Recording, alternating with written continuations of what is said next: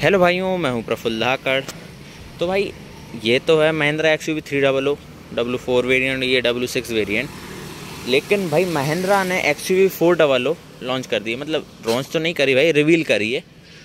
और उस गाड़ी में फोर डबल ओ सिर्फ़ उसका नाम है, बाकी सेम डिज़ाइन लुक वगैरह सब वैसा का वैसा है बट उसको ईवी e में लॉन्च करा है। तो आज हम वही बात करने वाले हैं कि उसमें क्या क्या चेंजेस अपने को मिले हैं। तो सबसे पहले मैं फ्रेंड में बात करते हैं अपन।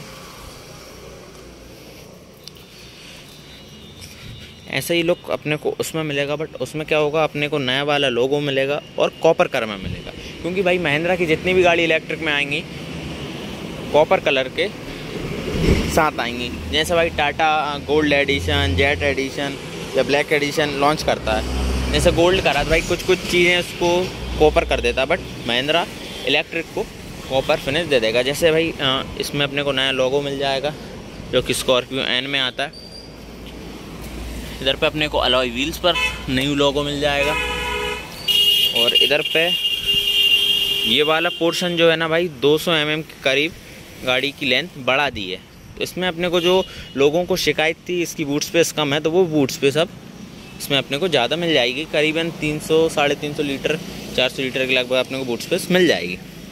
टायर प्रोफ़ाइल बाकी सब सेम है, इधर पे न्यू लोगो लग जाएगा और कॉपर फिनिश मिल जाएगी। और इधर भी कॉपर की लाइनिंग है, बाकी पूरी रूफ अपने को कॉपर फिनिश में मिलेगी। रियर में इधर कॉपर आ जाएगा, ये भी अपने को कॉपर में मिलता है। और इसकी जो टेल लाइट्स हैं, वो ट्रांसपेरेंट कर दी गई हैं। ये तो भाई ये रेड कलर की हैं, बट वो गाड़ी 400 में ट्रांसपेरेंट लाइट कर दी गई हैं, जो कि काफ़ी सही लग रही हैं उसमें।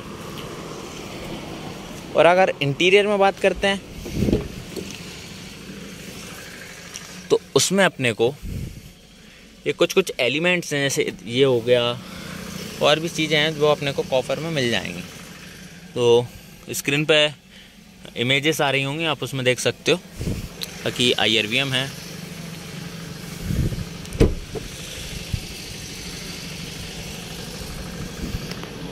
और अगर पावर टॉर्क की बात करें तो भाई वो अभी रिवील नहीं हुआ है। ऐसे ही आएगा और तो मैं आपको बता दूँगा। यही था आज की वीडियो में, वीडियो देखने के लिए आपका धन्यवाद। Thank you so much